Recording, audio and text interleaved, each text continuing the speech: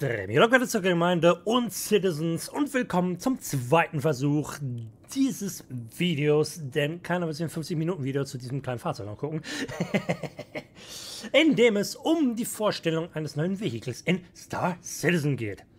Und zwar geht es in diesem Video um die Drake Mule, einem wunderschönen kleinen Fahrzeug, dem meiner Meinung nach viele Leute Unrecht tun. Der Grund, weswegen das erste Video so lang geworden ist, war, weil ich lang drüber geredet habe, was, wo das Ding Funktion hätte. Ähm, ich glaube, ich lasse das aber weg, beziehungsweise mache daraus dann eher ein zweites Video, wo ich darüber noch sinniere. Ja, ich glaube, das ist die Idee. Erst mache ich das Vorstellungsvideo und dann das Ideenvideo. Heißt für die Drake Mule wird es zwei Videos in dieser Playlist geben. Tada! Gut, Problem gelöst. Die Drake Mule ist ein ähm, Frachttransporter. Ein Transport... Ein Fra Frachttransport? Fahrzeug? Okay, Fokus Transport steht auch dran. Also ja, Frachttransport, Fahrzeug. Dessen Aufgabe es ist, bis zu zwei ein SCU-Kisten von A nach B transportieren zu können. Es ist kein Gabelstapler, das heißt, die Aufgabe ist nicht, Kisten zu stapeln, sondern effektiv nur diese Kisten von einem Ort zum anderen zu bewegen, wo sie dann mit anderen Möglichkeiten effektiv zu ihrem endgültigen Bestimmungsort geführt werden können. Also zum Beispiel, wir fahren mit dem Ding zu einem Kistenlager, wo wir die Kisten gekauft haben, fahren diese Kisten zu unserem Raumschiff, stellen die vor das Raumschiff ab oder hinter das Raumschiff, wenn die Frachtluke hinter dem Raumschiff ist. Und dann würden diese Kisten mit einem Traktorstrahler potenziell mit dem hoffentlich bald auch, hoffentlich mit 3.18, wo die physikalische Fracht dann kommt, auch mit ins Spiel kommenden zweihändig geführten Traktorstrahler, den mobilen, dass der stark genug ist, um diese SU-Kisten zu bewegen. Der, das Multitool ist es ja nicht. Aber hoffen wir, das Ding wird dann stark genug sein. Dann nimmt man mit diesem Traktorstrahler die Kisten und platziert die im Schiff und so kann man sie dann auch stapeln. Aber die Mule ist nur dafür da, die Kisten zum Schiff zu bringen.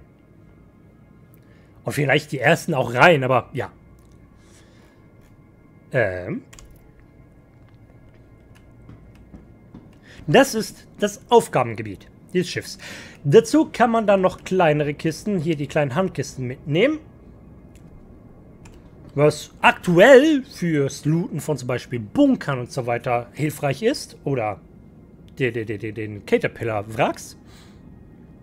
Und später dann halt auch die Optionen liefert, neben den großen Kisten auch noch kleinere Kisten, wo man so Getränke und Lebensmittel noch so drin hat, auch gleich noch mitnehmen zu können wenn man sein Schiff belädt. Ja, ihr merkt schon. Grundgedanken. Also, kommen wir zu den grundlegenden Spezifikationen. Wir haben keine Waffen an Bord, was bei CRG tatsächlich relativ selten der Fall ist.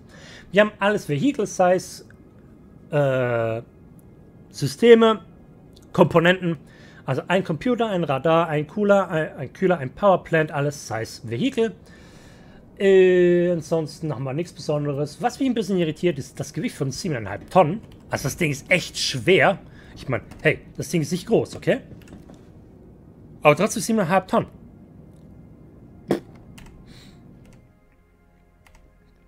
Erstaunlich. Und ansonsten der Preis aktuell bei 40 Dollar. Eine Person. Und das war es dann auch schon mit den technischen Daten. So, dann bewege ich das Ding mal ein bisschen nach vor. Hier geht's auf. Wir sehen hier eine Rampe. Das ist geht zu. Oder auf. So. Dann geht das Ding relativ langsam zu, leider. Kommen wir uns direkt das Innenleben mal an. Wir haben zwei MFDs und ein 2D-Radar. Wir sehen hier mein Schiff und den Cyclone. Da drüben ist der Cyclone. Ich habe die Star Runner extra dafür aufgebaut, dass man eben zu dritt, das ist ein Drei-Mann-Schiff, zum Beispiel die Wracks ausnehmen kann oder Bunkermissionen machen kann. Das heißt, das Schiff fliegt hin, landet mit drei Personen, also Vollbestückung. Einer fährt mit der Mule, zwei fahren mit dem Cyclone zum Wrack und so weiter. Damit jeder fahren kann. Damit kann der Loot in die, in die Mule geladen werden. Und damit nicht einfach nur einer fährt und zwei laufen, habe ich noch den Cyclone drin, damit eben die anderen beiden ihr Fahrzeug haben. So können alle drei mitgehen, mitfahren. Gut. Innen drin sieht es mal wieder extrem detailliert und geil aus. Meine, wir können hier auch den Zettel mal wieder lesen. Und hier drüben ist er nicht um 180 Grad gedreht worden.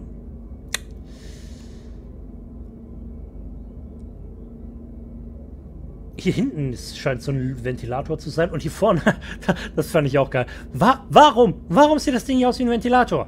Und wo sind die Ventilatorlamellen? Äh, der Lüfter, wo ist der? das sieht so geil aus. Ja, dann haben wir hier oben ein paar Knöpfe. Power off, Engine on off, äh, Türen, Exit äh, Open Door. Okay, wir haben kein Open All, ne? Ah, hier. Okay, hier ist Rear. Hier haben wir Front. Hier gehen die Zangen auf und zu. Und Rear, da würde eigentlich noch der hintere Ding aufgehen. Das zeige ich gleich. Jetzt fahren wir... Ups. Fahren wir ein paar Meter vor. Damit wir Zugänge, Zugriff auf alles haben. Was natürlich geil ist, das Ding kann sich auf der Stelle drehen. Das macht es natürlich unglaublich wendig draußen und auch hier innen drin vielseitig einsetzbar. Eben hier, das Parken. Es ist scheißegal, du musst nur irgendwie reinkommen, den Rest kannst du ausmanövrieren. Das ist unglaublich geil an dem Ding. Eben hier. Ich stehe jetzt genau vor der Rampe. Hier würde kein einziges Fahrzeug mehr rauskommen. Das Ding hier, okay, 90 Grad einfach eindrehen, rausfahren, leck mich. Oder rein. Man fährt hier rein, 90 Grad eindrehen und wegparken. so eine Funktionalität würde ich mir tatsächlich immer häufiger wünschen. Gut. Ähm, fangen wir auf dieser Seite an. Oder ne, fangen wir erstmal vorne an. Ne? Vorne haben wir den Knopf zum Öffnen der Kabine. Die Kabine ist übrigens druckverschlossen, also hier, das Ding hat auch ein Lebenserhaltungssystem, also man friert nicht, wird nicht zu heiß. Also das ist... Ah, warte mal.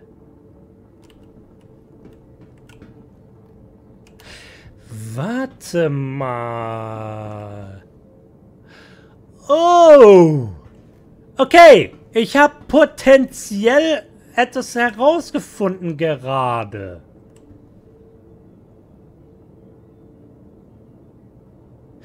Das wäre tatsächlich möglich. Das Ding ist, wenn man damit fährt, man hört Batterien laufen. Das Ding hat kein Motorengeräusch. Null. Nada. Also, ich gehe davon aus, dieses Vehikel ist ein reines Elektrofahrzeug. Also warum hat das dann hier einen Tankstutzen? Ja nun, was ich vorhin schon entdeckt habe, ist das hier. Warum ich mich schon gefragt habe, warum ist, was ist das? Was tut das da? Nun, man füllt hier Sauerstoff ein. Der wird hier gelagert unten drin. Hier wird er durchgeleitet. Vielleicht wird er sogar hier gelagert. Und dann wird er hier reingeleitet.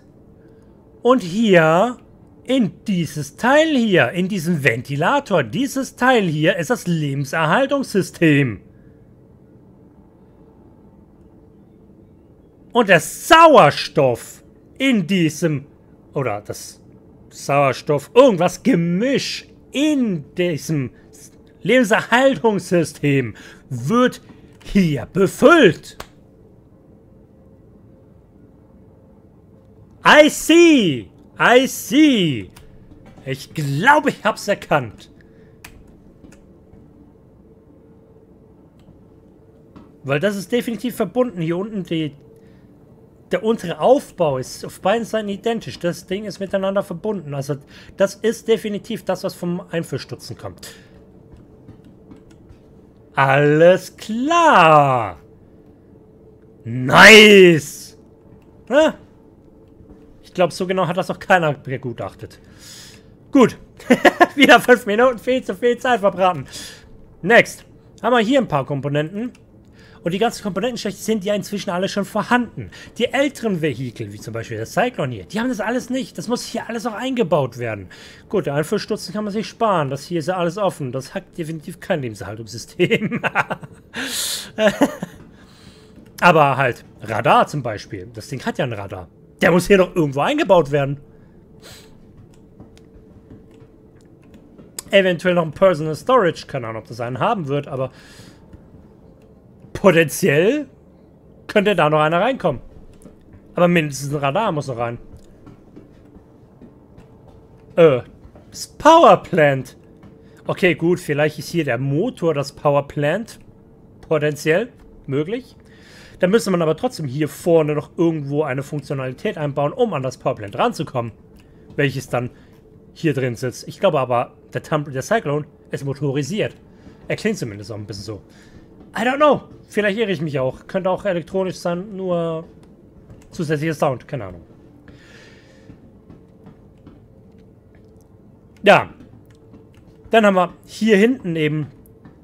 Wir haben hier zwei Knöpfe. Rear. Hier hinten fährt der hier raus und kann eine Kiste grabben und wieder einfahren. Hier kommt das eine SCU. Dann haben wir hier das Powerplant, das richtig geil ausfährt.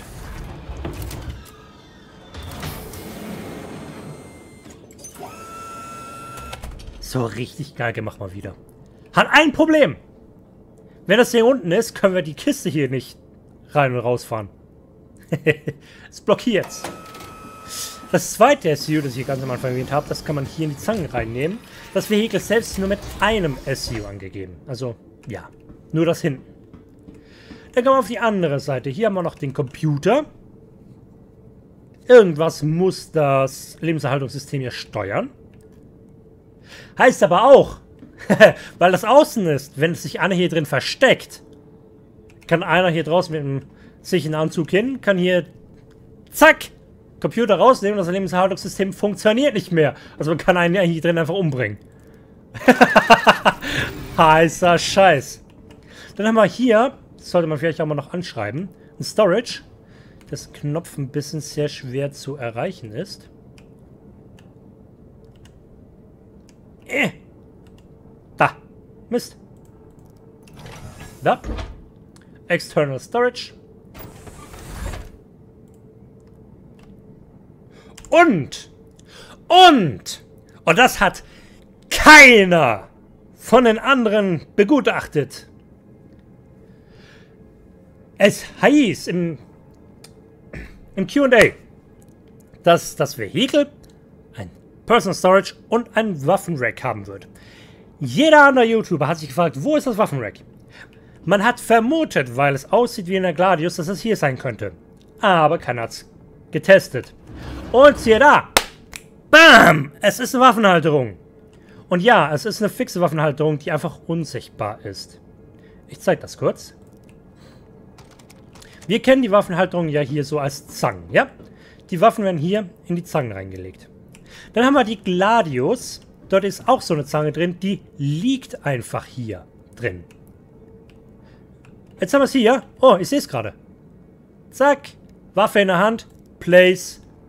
Bam. Liegt einfach sauber drin. Das habe ich jetzt allerdings gerade erst auch gesehen. Denn ich habe das jetzt die ganze Zeit so gemacht. Place. Ich habe herausgefunden, dass das eine andere Halterung hat, weil ich es so gemacht habe. Okay, der hat jetzt nicht funktioniert, weil ich es schräg genommen habe. Warte, nochmal. Place. Ich habe das nämlich so, so versucht. Genau, jetzt. Jetzt soll er, will er ihn ja nicht vorne reinlegen. Zack, aber er legt ihn hinten hin. Dadurch habe ich herausgefunden, dass hier tatsächlich eine Waffenhalterung schon drin ist. Auch wenn die meisten meinten, da ist nichts drin. Aber, ne, ist auch keiner nur mit einer Waffe rennen. Wir haben hier sogar ein Place. Wir können hier effektiv schon eine Waffe placen. Jetzt probiere ich sogar noch das hier.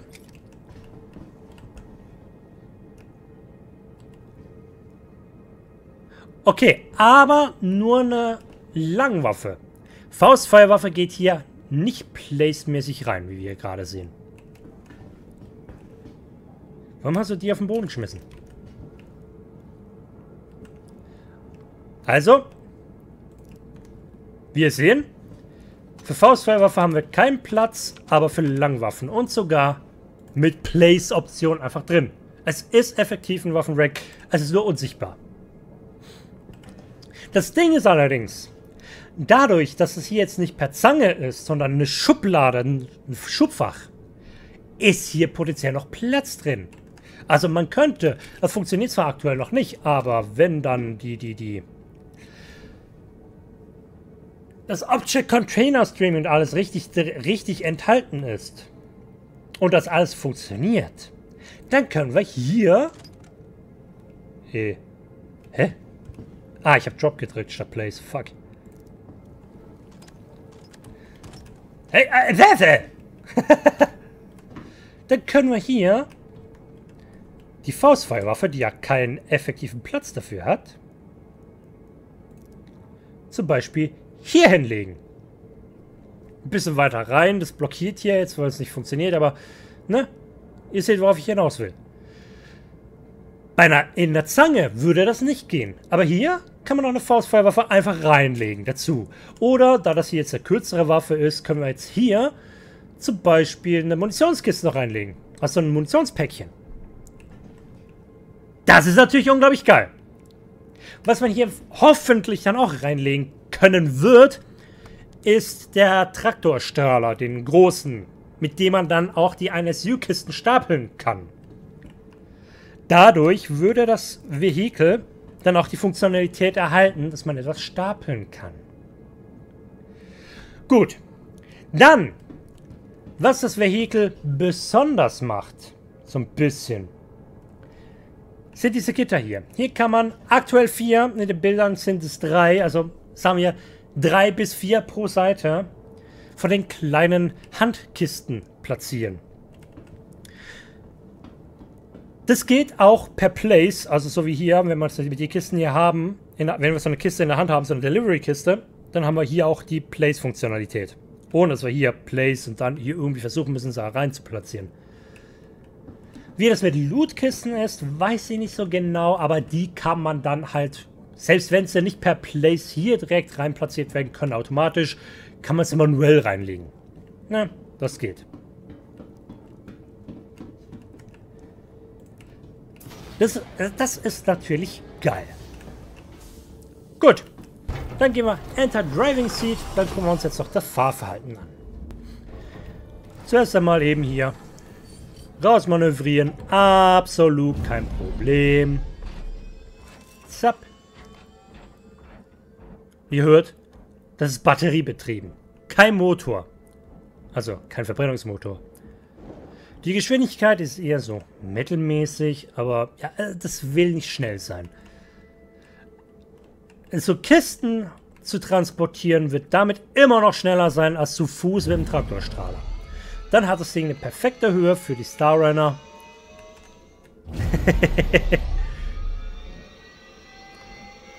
Während dem Fahren ist die Wendigkeit auch so mittelmäßig tatsächlich, aber im Prinzip wenn du wirklich wenden musst. Zack.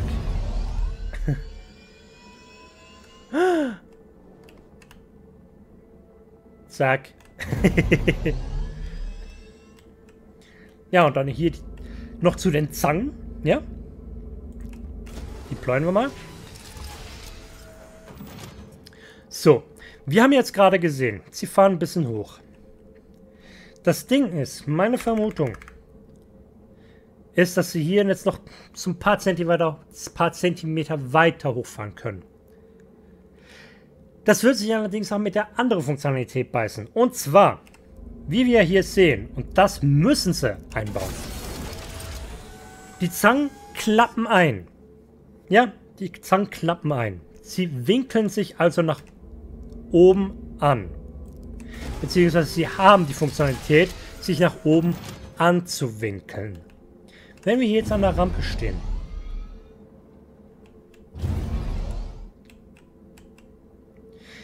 so wie sie jetzt sind, wenn die Kiste